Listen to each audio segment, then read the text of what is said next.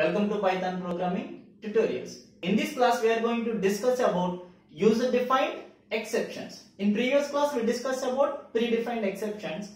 Okay, so what is a user defined exception means? Exceptions are defined by the developer as per the application requirements. So that means for example I want to withdraw money from my account. The Amount in my account is 1000 rupees but I want to withdraw 2000 rupees. Okay, that means this is greater than the amount. Okay, at that time we are going to treat this as an exception and we can write the program for user defined exception. Okay, so this is the example for user defined exception. In this program what we are doing means we are going to check the marks of the student.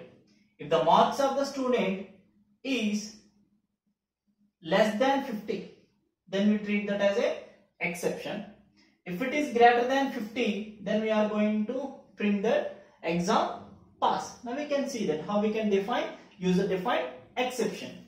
So so what is the exception means? Exception is a class. Okay? The number division exception so floating point exception all these exceptions are predefined classes. But here we are going to discuss about user defined exception so we can define a class. Okay for exception what is the exception name? Here i am giving the exception name as exam fail exception. Okay this is the exception name. You can give any name here but the parent class is exception. Okay exception is a class which is parent to all the exceptions in python. This class accepts one argument. Marks and creates one instance variable self dot marks equals to marks. This is the definition of user defined exception. Now we can write the problem as normally. So class student I am going to initiate for number and name. Okay. The execution is starting from here. S1 equals to student 1, 2, 3, 4 Ravi. That means the object is created. S1. So what is the instance variable? S number, S name okay s number equals to 1 2 3 4 name equals to Ravi so s2 equals to student. That means another object s2 s number equals to 4 5 6 7 s name equals to ram okay s1 dot exam. That means exam is the method in the class student. So this is so what is the argument? Marks equals to 70 so now I am going to print student number. So student number 1, 2, 3, 4. Student name Ravi. Ravi.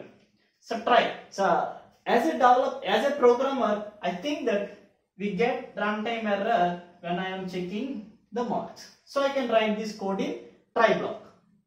If marks less than 50, then print exam failed and raise the exception. But here the marks are 70. 70 less than 50 false. We go to here print exam pass. So that means what is the output? Student number 1, 2, 3, 4. Student name Ravi. Exam pass. That's it. So when I am called S2 dot exam 45. Now the marks are 45. Student number is S2. 4567. It prints 4567 and the name is Ram. Okay, now here 45. 45 less than 50. Yes, it is true. It prints exam failed and it tries the exception exam failed exception. Okay, then control goes to here exception block. Exam fail exception as EX. That means this is the predefined class. The marks are 45. Sorry, here. The marks are 45. So self dot marks equals to 45. Now we are going to print failed because marks are what is the marks value? 45 failed because marks are 45 prints. Okay. So what is the output for s2 dot exam 45 student number 4567 student name ramu. Exam failed.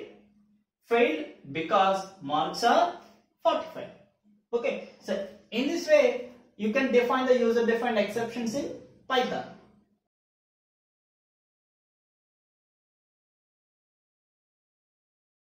Now we see user defined exception. Here the user defined exception is exam fail exception. Okay i inherit this i inherit the exception class as base class. Now we are execute this program okay student number 1234 name ravi exam pass. Why? He gets 70 so next one. Student number 4567 student name ramu. Exam failed because marks are 45